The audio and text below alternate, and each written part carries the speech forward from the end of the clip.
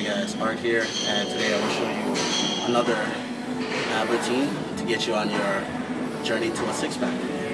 Uh, today I'm going to show you three different workouts, and we're going to do for the first workout is 15 reps, the second will be about 10, and then our last one is going to be 25 reps. And let's get this started. I'll explain more in the description box.